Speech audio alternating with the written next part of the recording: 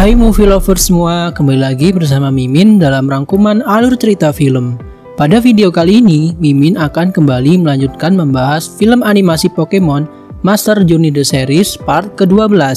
Di part 12 kali ini, Mimin akan berfokus menceritakan tentang kisah battle antara Ash dengan temannya yang bernama Iris dan perjuangan Go mencarikan rumah untuk Pokemon Flabebe. Sebelum menonton video kali ini, Mimin doakan semua yang menonton selalu dalam keadaan sehat selalu ya. Film di part 12 kali ini diawali dengan Ash yang ternyata menerima sebuah surat dari Unova Region. Namun dengan mudahnya, Sirvates malah membuka surat tersebut dengan menggunakan pedangnya yang membuat semua orang kaget. Ternyata surat tersebut berasal dari Edis yang merupakan teman lama Ash waktu berpetualang di Unova Region.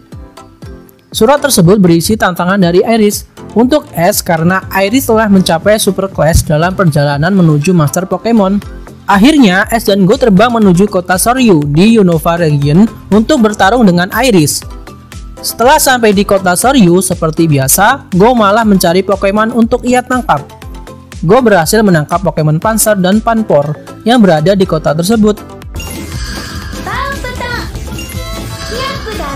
Namun saat hendak menangkap Pokemon terakhir, Go malah salah melempar Pokeball yang akhirnya mengenai Iris.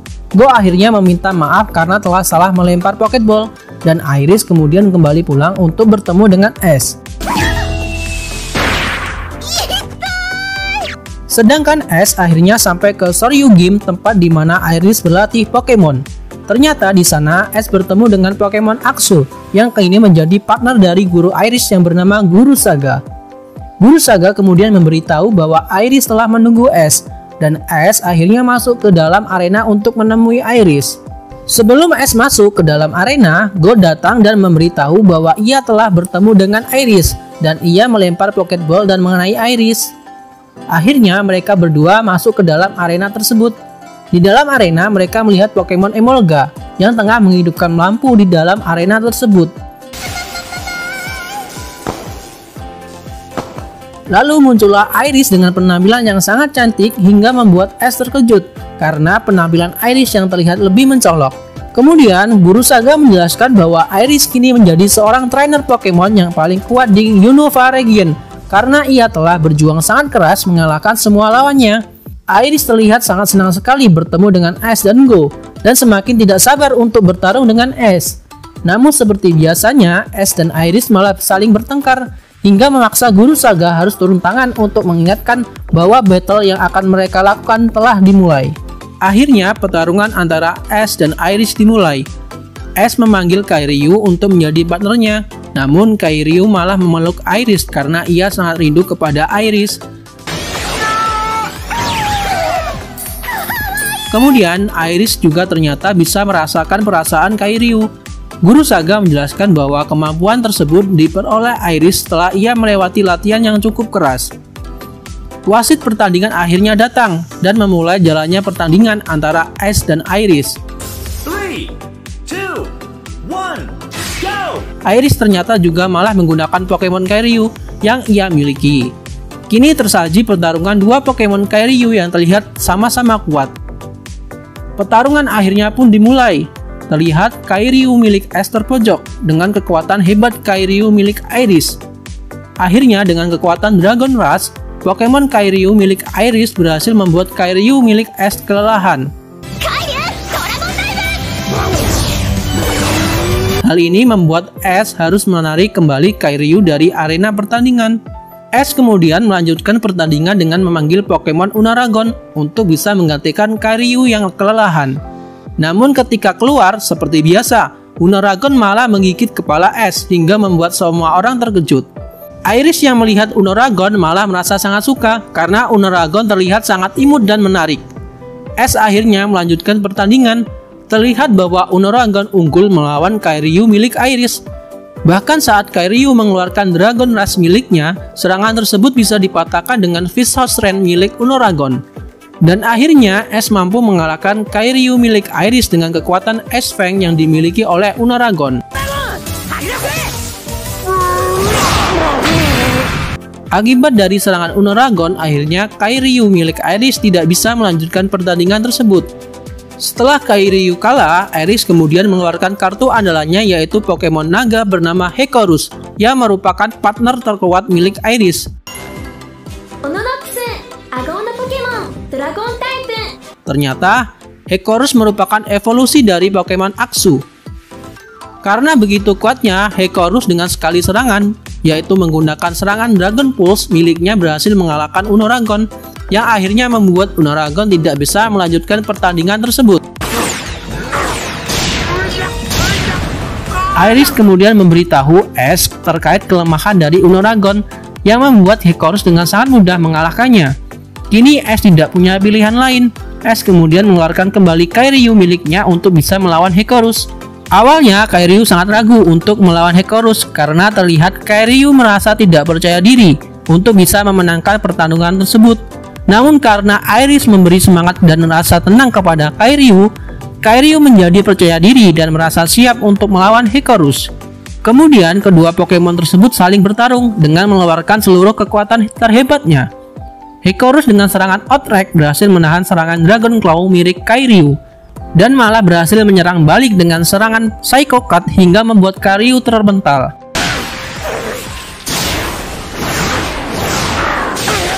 Namun resiko dari kekuatan yang dikeluarkan oleh Hekorus akan membuat ia bingung. Hebatnya, Hekorus milik Iris berhasil melemahkan efek samping kekuatannya dengan cara membenturkan kepalanya ke tanah. Iris menjelaskan bahwa Hekorus miliknya sudah mampu beradaptasi untuk bisa mengalahkan efek samping dari kekuatannya. Pertarungan kembali dilanjutkan. Kini serangan di antara kedua Pokemon tersebut menjadi semakin kuat hingga membuat mereka kelelahan satu sama lain. Akhirnya, Kairyu mengeluarkan kekuatan Hurricane miliknya untuk bisa digunakan sebagai perisai untuk melindungi dari serangan Hekorus. Melihat kekuatan dahsyat dari Kairyu, bukan membuat Iris takut, malah membuat ia semakin senang untuk melawan Kairyu. Kekuatan Kairyu semakin menggila hingga membuat langit menjadi gelap. Akhirnya mereka berdua saling mengeluarkan jurus andalan mereka. Kairyu mengeluarkan kekuatan Dragon Meteor yang membuat Hekorus terkapar dan kalah di arena tersebut. Karena Hekorus tidak bisa melanjutkan pertandingan, maka pemenang dari battle tersebut adalah Ash dan Pokemon Kairyu miliknya. Setelah pertandingan selesai, kini peringkat Master Pokemon kembali diperbarui. Berkat kemenangan melawan Iris, kini Ash masuk ke Hyper Class di peringkat ke-99. Sedangkan Iris kemudian meminta maaf kepada Guru Saga akibat kekalahannya. Akhirnya Ash dan Go berpamitan kepada Iris dan gurunya. Iris, arigatou. Dan Iris kemudian mengucapkan terima kasih kepada Ash dan Go dan berjanji akan menyusul Ash menuju Hyperclass. Akhirnya mereka berdua kembali menuju ke rumah Profesor Sakuragi. Scene film berganti dengan Ash dan Go yang tengah menyiram para Pokemon yang berada di lab penelitian Profesor Sakuragi. Tiba-tiba muncul kawanan Pokemon Flabebe yang tengah melakukan balapan. Namun ada sebuah Pokemon Flabebe putih yang hampir saja terjatuh ke dalam sungai. Beruntungnya, Ash dan Go berhasil menangkap Pokemon tersebut. Ternyata Pokemon Flabebe tersebut hampir jatuh karena salah satu kelopak bunga yang ia naiki terlihat patah. Melihat hal itu, Ash dan Go berencana untuk mencarikan bunga pengganti bagi Pokemon Flabebe putih tersebut yang mungkin berada di Kalos Region tempat Pokemon Flabebe berasal. Akhirnya, Ash dan Go pergi ke kota Shala di Kalos Region Kemudian mereka langsung menuju ke tempat pertama kali Flabebe ditemukan. Karena tidak bisa terbang, kemudian Flabebe oleh Go dipindahkan ke atas kepalanya dan menempel di rambut Go. Flabebe kemudian menunjukkan arah di mana bunga miliknya berasal. Namun sesampai di sana mereka tak menemui bunga apa pun. Karena tidak berhasil menemukan bunga milik Flabebe, S dan Go kemudian memutuskan untuk beristirahat di sebuah penginapan. Di sana mereka terlihat sedang makan, namun ternyata Flabebe menjadi sangat sedih. Sarunari yang berusaha menghiburnya juga tidak bisa membuat Flabebe tersenyum. Setelah itu, karena merasa bingung, akhirnya Go menghubungi Profesor Sakuragi dan memberitahu bahwa mereka tidak menemukan bunga putih milik Pokemon Flabebe. Profesor Sakuragi juga menjelaskan bahwa bunga milik Flabebe putih memang sangat langka dan sangat sulit ditemukan. Namun ia akan tetap berusaha untuk mencari tahu di mana letak bunga tersebut. Setelah itu akhirnya mereka semua beristirahat. Namun tiba-tiba Flabebe mengajak Go untuk keluar karena ia tidak bisa tidur. Akhirnya, Flabebe Putih dan Go terlihat nampak menikmati udara di malam hari. Pagi harinya, mereka akhirnya melanjutkan perjalanan untuk mencari bunga putih milik Flabebe. Mereka berusaha mencari di segala sudut di kota tersebut, namun tetap saja tidak dijumpai bunga yang dicari oleh Flabebe. Mereka malah menemukan banyak sekali bunga putih yang hanya mirip dengan bunga yang selama ini mereka cari.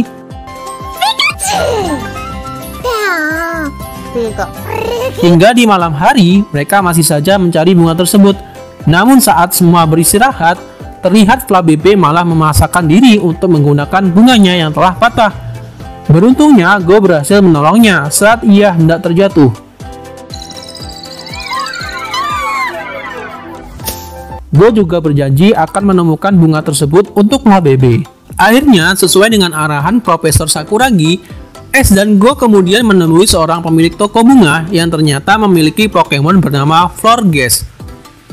Pokemon Florges ini merupakan evolusi terakhir dari Pokemon Flabebe. Dengan kekuatan Gasi Tren milik Florges, ia berusaha menghibur Flabebe agar tidak sedih kembali. Kemudian pemilik toko tersebut juga memberitahu bahwa Florges juga memiliki bunga kesukaan yang ternyata lama sekali untuk tumbuh. Mungkin hal itu juga yang menjadi penyebab mengapa bunga milik Flabebe putih sangat susah sekali untuk ditemukan. Kemudian Go juga menceritakan tentang kesulitan mereka kepada penjaga toko tersebut.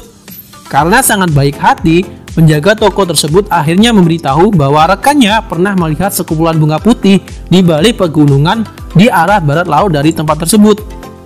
Go kemudian mengucapkan terima kasih dan langsung pergi ke arah tempat yang ditunjukkan oleh penjaga toko. Mereka sangat yakin sekali di tempat tersebut mereka akan menemukan bunga milik Flabebe. Mereka akhirnya berusaha mencari bunga tersebut, namun nyatanya mereka belum menemukan bunga apa pun. Sarunori malah merasakan keberadaan bunga tersebut. Namun bunga yang ditemukan oleh Sarunori ternyata berwarna pink.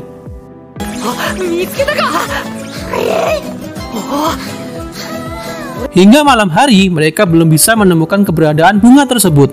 Namun saat mereka hendak pergi, Tiba-tiba Flabebe merasakan sesuatu dan kemudian mengajak mereka untuk pergi ke bunga pink tadi. Ternyata bunga tersebut mekar menjadi warna putih setelah terkena sinar bulan. Flabebe menjadi sangat senang sekali.